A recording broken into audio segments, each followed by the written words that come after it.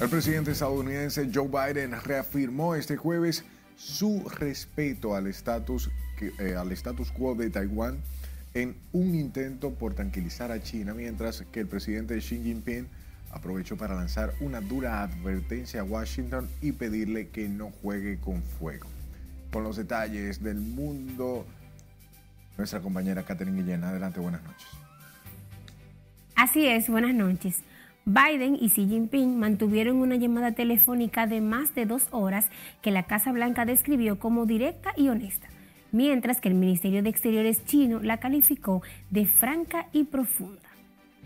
Xi Jinping y Joe Biden mantuvieron este jueves dos horas de conversaciones sinceras y profundas en las que el presidente chino advirtió a su homólogo estadounidense de que no juegue con fuego en Taiwán sí dijo a Biden que aquellos que juegan con fuego acabarán quemándose y que espera que la parte estadounidense lo entienda completamente.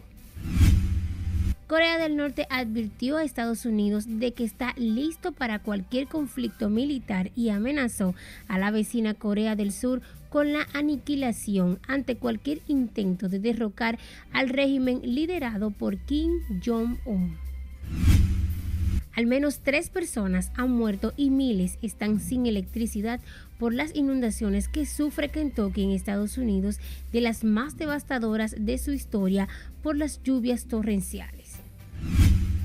El área metropolitana de Puerto Príncipe vivió una jornada de tensión marcada por la guerra entre las bandas G9 y GPEP e que paralizó todas las actividades en gran parte de la ciudad donde los disparos durante todo el día crearon una situación de pánico.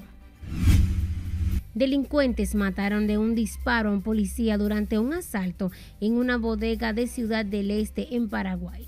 Tras efectuar el letal disparo, los malvivientes lo despojaron de sus pertenencias y huyeron a bordo de un vehículo.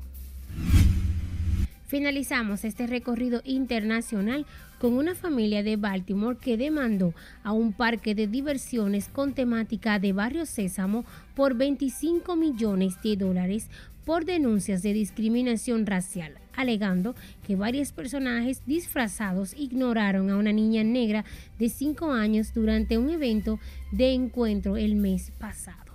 La demanda se produce a raíz de un video viralizado en redes sociales que muestra a otras dos niñas negras aparentemente siendo desairadas por un empleado disfrazado durante un desfile en las afueras de Filadelfia. Sesame Place se disculpó en un comunicado y prometió más capacitación para sus empleados. Hasta aquí las noticias internacionales de esta noche. Paso contigo.